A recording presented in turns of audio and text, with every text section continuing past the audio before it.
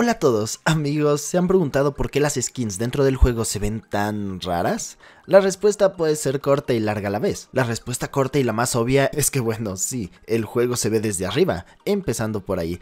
Realmente jamás verás la cara de muchos personajes, y si lo haces no es como que el zoom sea suficiente para notar los detalles, aunque sí, puede haber caras bastante extrañas en algunas ocasiones. También League of Legends no es un juego que consuma muchos recursos en la computadora, las personas que tienen una PC que les corra LOL a pocos FPS tienen literalmente una tostadora War Machine, aunque tampoco vamos a negarlo, y por eso hice este video. Hay skins en LOL que por mucho que estén estos argumentos sobre la mesa son malas directamente, ya sea porque no se parecen en absolutamente nada a su arte y como te las venden para que después entrando al juego te des cuenta que fuiste estafado, las que sí son parecidas, pero dentro del juego tienen colores totalmente diferentes, haciéndolas ver poco serias o directamente como si fueran otra skin, aunque se vean bien. Y finalmente casos súper extraños y contados, de los que hablaremos más adelante, en donde skins que se veían bien fueron cambiadas por una versión que no le gustó para nada a la comunidad. Porque seamos sinceros, League of Legends de todos los juegos que existen hoy en día es probablemente el que te ofrece las peores skins. Digo, piensa en cualquier otro videojuego gratuito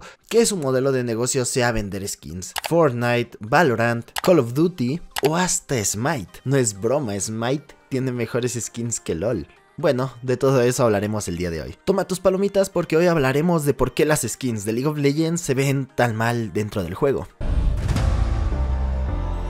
Empecemos hablando por el primer caso y el más simple, skins que no son lo que prometen. Y bueno, aquí no hay mucho que decir, LOL te vende skins que se ven realmente épicas y entrando al juego no se ven para nada como te las vendieron. Una solución que muchos han propuesto para esto es que dentro del cliente se pueda visualizar cómo se ven las skins dentro del juego. Muchos juegos de Riot como Valorant o incluso el League of Legends de celular, el Wild Rift, ya lo hacen y les va bastante bien. Incluso en Wild Rift puede llegar a veces a ser una ventaja debido a poses épicas, buenos detalles y movimientos del skin que te hacen quererla, aunque dentro del juego no sean exactamente iguales. Pero esto te da la impresión de que estás comprando un producto de altísimo nivel, y dentro del juego de celulares será imposible jamás que notes estos pequeños detalles que no las hacen idénticas. Igual eso es tema para otro video. Y a ver, ya sé qué estás pensando, y quitando el chiste de que el cliente apenas puede mantenerse estable y a la mínima que Riot le meta esta nueva función, este terminará bugueadísimo y explotando algunas computadoras, es un escenario hipotético pero si me preguntan a mí, sí pasaría. Esto solo sería perjudicial para Riot. Las skins bajarían muchísimo al momento de ser vendidas. Solo imagínate, está esta skin increíble que acaba de salir. La quieres con toda tu alma. Y al investigar te das cuenta que no se ve para nada épica dentro del juego. Y bueno, GG ya no la quieres. Ninguna compra más, haciendo que Riot termine vendiendo muy poco. Hoy en día Riot para mejorar las skins se concentra en apartados como las partículas. Puede que la skin como tal no sea muy vistosa, pero a la hora de tirar sus habilidades, cientos de colores saldrán si es necesario, maquillando la base del skin. Sinceramente este puede ser el mejor punto de las nuevas skins. Anteriormente solo existía la piel base, donde las partículas eran las mismas, y si ya de por sí el aspecto no se veía bien en el juego, sin ningún tipo de extras acababan siendo aspectos que no destacaban en lo más mínimo, colores muy apagados. Y justo en este momento quiero entrar al segundo punto del que hablaremos el día de hoy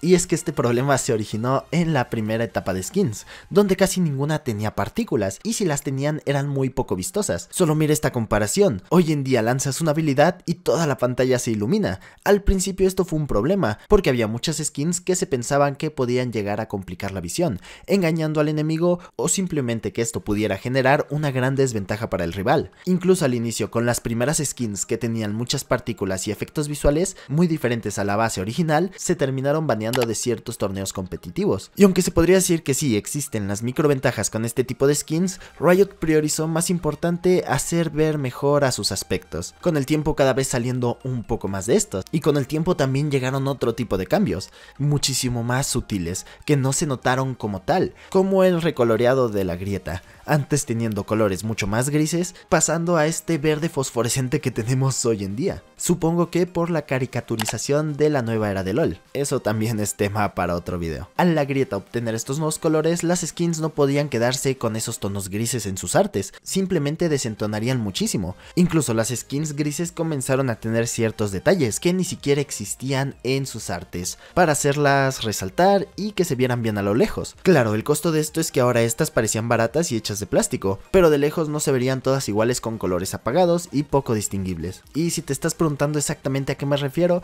ahora podemos ver unos ejemplos de estos colores. En estas fotos podemos ver ejemplos creados por la comunidad, de cómo se deberían ver las skins si estas fueran adaptadas correctamente de sus splash arts. Sé que ya he hablado mucho anteriormente de él, pero es el ejemplo perfecto, el Malphite de juguete, digo el Malphite mecha. Si este estuviera detallado a su splash art, genial, se vería muchísimo mejor de cerca y los detalles realmente se apreciarían. Claro, esto de cerca, pero de lejos se vería oscuro, y en general daría una mala impresión, o al menos no resaltaría ante los otros nuevos campeones que son muy coloridos. Y esto al final no lo quieres en un skin que acabas de comprar para lucir. O por ejemplo Ashe, nadie sabe absolutamente de dónde salió ese color amarillo tan feo de su arco, pero la skin ya tiene colores muy apagados. Y aunque sí se vería genial, probablemente no sería lo que esperaríamos. Skins Aquelarre con exactamente la misma impresión, resaltando muchísimo los dorados. Pequeña pizca de amarillo será suficiente para que Riot lo resalte. O nuestro amigo Yorick que ya vimos, aunque personalmente este sí me gusta más en esta versión. Y la cosa no termina aquí. En este momento ya debe de haber bastantes opiniones, ya que termina siendo para algunos un tema muy polémico, en especial para los más apasionados. Y digo, estás gastando tu dinero, tienes todo el derecho a quejarte, pero aún queda hablar de un punto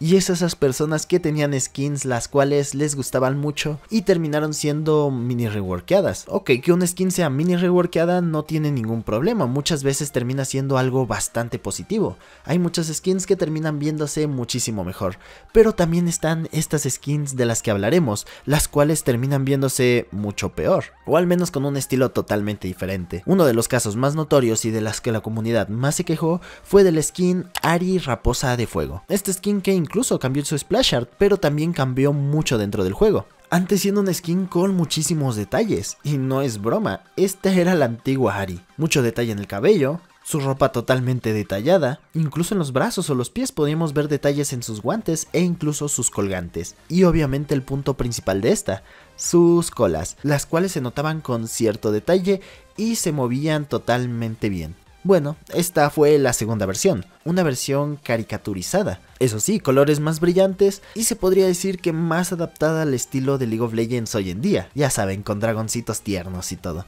Probablemente fue una de las mayores quejas de la comunidad, porque muchos les gustaba este skin como se veía dentro del juego, muchísimo más seria y más imponente, incluso terminaba yendo más con el splash art que se te vendía, y después pasando a tener un Ari con un traje que no tenía mucho que ver y con las colas color rojo, claro, para conservar el concepto.